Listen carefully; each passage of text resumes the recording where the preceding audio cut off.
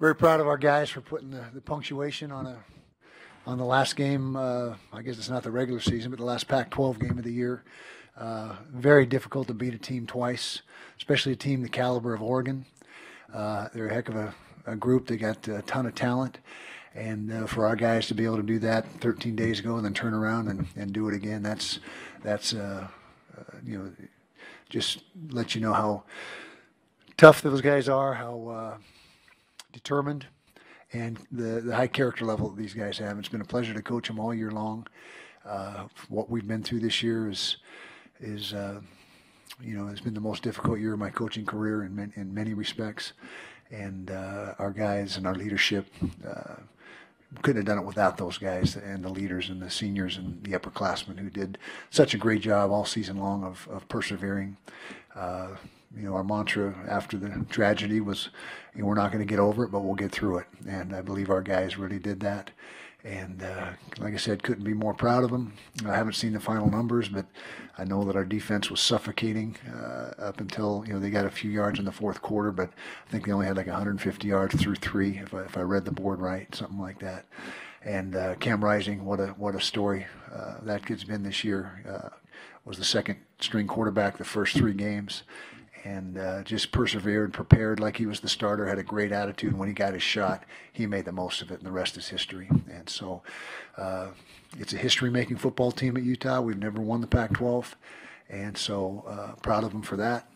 And uh, in the you know the, the, convincing fashion that they did it.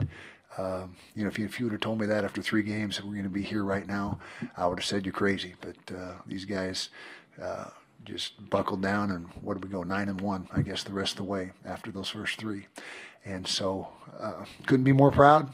And uh, just a, a just a, a, year that's filled with so many ups and downs and and uh, Ty and Aaron you know we love those two young men and and uh, they were with us tonight. I'm, I'm positive of that that they were here. So questions. Obviously, Devin Lloyd, you know, wins the MVP. Can you speak to his impact and his value for this team over the course of the season, and then as well tonight? Yeah, his impact and value cannot be overstated. I mean, he is such a a leader, such a pure talent. He could have come out last year and been a first or second round draft choice. I think he's probably played his way into the top ten or twelve uh, in the first round now. That's that's uh, what I'm hearing. And uh, he came back and he was a man on a mission. He wanted to to uh, win the championship. He wanted to be an All American. Uh, he had these goals. We sat down and he told me all of his goals uh, when we had the meeting about a year ago, just a little over a year ago when he was making that decision. He says, I'm coming back and here's why and here's what I want to accomplish. And he's checked every box so far.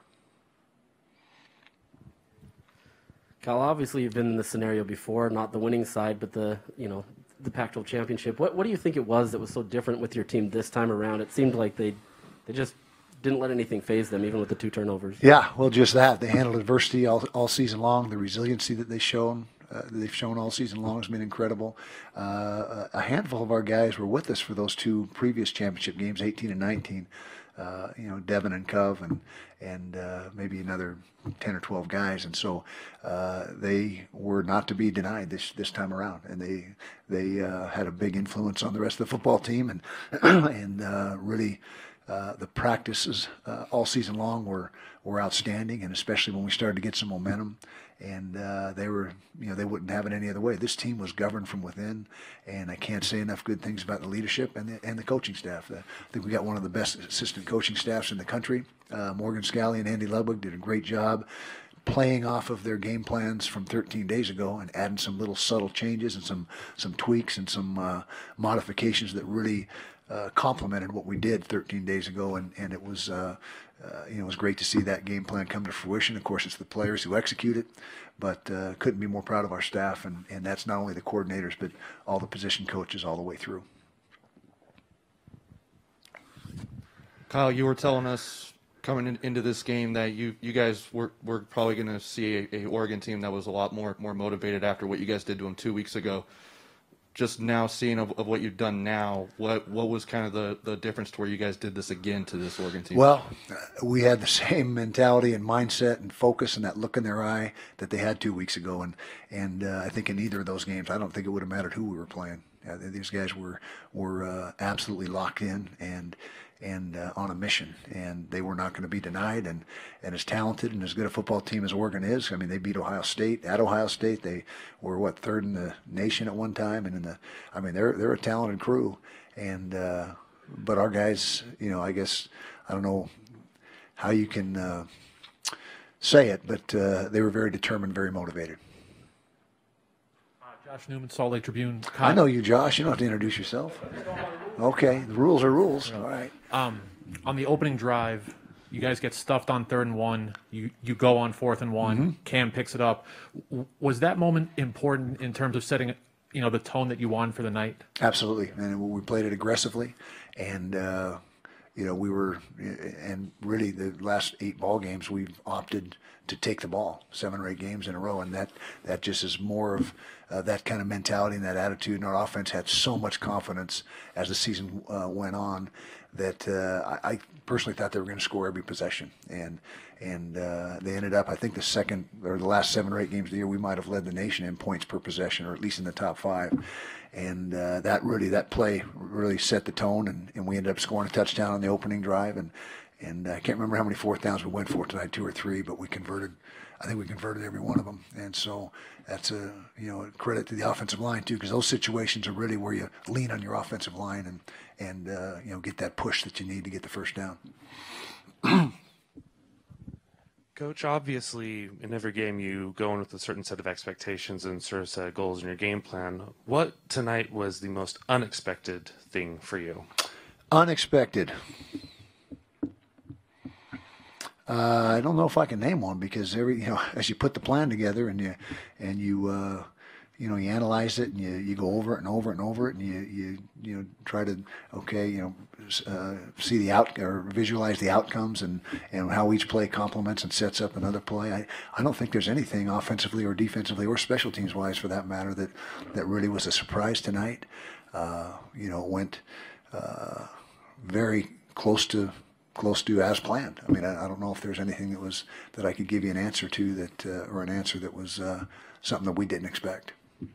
But just because you expect it doesn't mean it's going to happen. But but that's what we expected to happen. uh, Kyle Bonagura with ESPN. Um, obviously, a very pro Utah crowd today. At what point did you realize how skewed it was going to be in your favor, and what'd you make of the venue change? Overall? During warm-ups, it was incredible. I mean, it was uh, five to one is what it looked like during warm-ups, and then when the game actually started, it was probably still close to that, four to one, three to one. But but uh, it was definitely a, a, crowd in our favor. Appreciate our, our, our crowd. They've been awesome all year long. The, the crowd at uh, Rice Eccles 13 days ago for that Oregon game was the best environment I've ever been in, and, and uh, this was, you know, just a, a great show of support from our fans. I promise you one thing: they're going to travel to the Rose Bowl. I guarantee you that. Steve Bartle, Ute Zone. I guess I'll follow the rules Okay. as well. Um, uh, You look like the guy on Ted Lasso, by the way. The the guy that yeah, what, yeah. There you go. there you go. There you go. Your tight end group. We've talked about them. Uh, talked about them a lot this season. Two weeks ago, it was, Brant Kuithe. Tonight, it was Dalton Kincaid through the air. Just their ability to impact the game in both phases. Um, just what did that mean to your offense tonight? It's been huge for us, not only tonight but all season long. We think that's the best trio of tight ends in the country. I, you'd be hard pressed to find any team that's got three guys that uh, are as talented as those three. And uh, you know, like you said, Brant was uh, not as prominent tonight as Dalton, but every week it's you know all three of those guys as a as a uh, as a group always bring uh, great results, and and uh, it's an elite group. It's it's an elite group. We might lose them all. They may all turn to the NFL. If so, we wish them well. But uh, they were really the the I don't want to say the core of the offense this year, but they were they were huge, and we played so many two and three tight end sets. We probably had, we had lead the nation in two and three tight end sets, and and it's because of their talent level.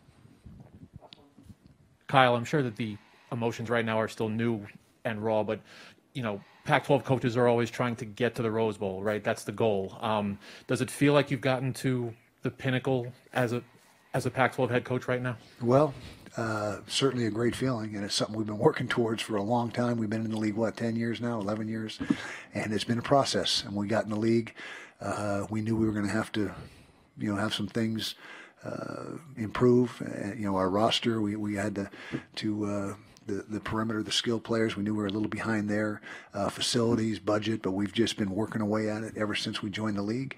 And uh, this is the culmination of a lot of years of hard work and effort, not only by us, by our administration, by everybody involved. It takes a lot of people to make this thing go.